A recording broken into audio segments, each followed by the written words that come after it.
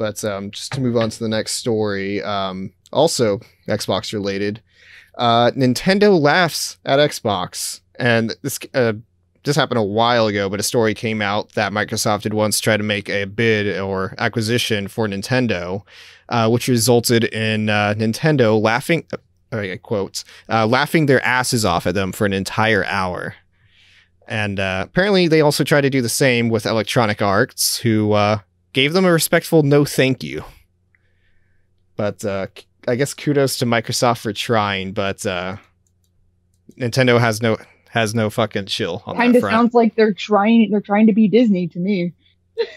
well, that, Just that was gobbling up companies. We're trying to gobble up companies. mhm. Well, like from like Microsoft company history, that is what they do. They have a serious Mhm. war chest, like serious war chest. Like I've seen them spend two billion dollars on tech and software and services that most people haven't even heard of, but Mhm.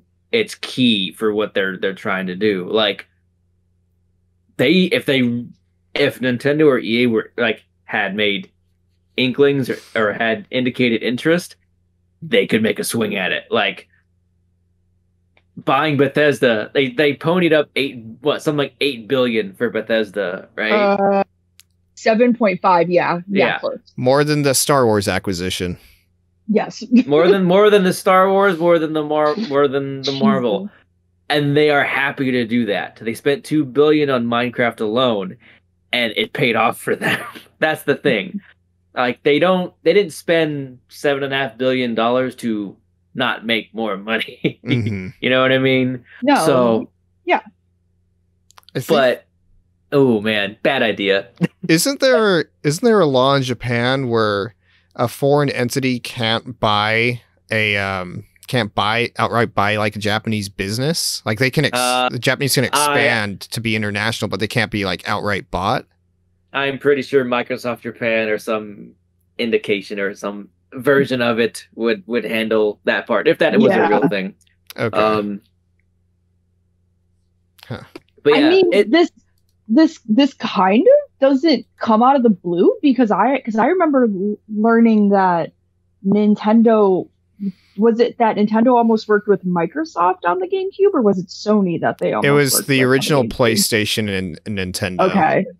And I mean it. I mean, I still think it's fucking dumb, and I believe that those Microsoft ex- execs deserve to get laughed at for an hour. I mean, like when it comes to business, it's it doesn't necessarily hurt to try, but uh, they're laughing their Well- asses off is kind of cruel. I, I look at it this way: Nintendo took the meeting.